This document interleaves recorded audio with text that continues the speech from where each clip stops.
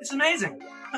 Not even joking. I mean, look, I can't take the smile off my face. I just, I love seeing that smile. There's one there, there's one there, there's one over here. It was a very easy setup. I purchased it. They sent me this box right here. It came within two days. Here's the mold um, that I made.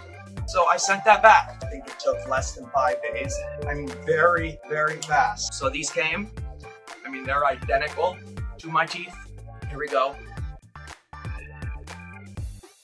Look, I can't take the smile off my face. I just, I love seeing that smile. The service you get with these guys, the respect you get from these guys. They want to help you, and they do help you.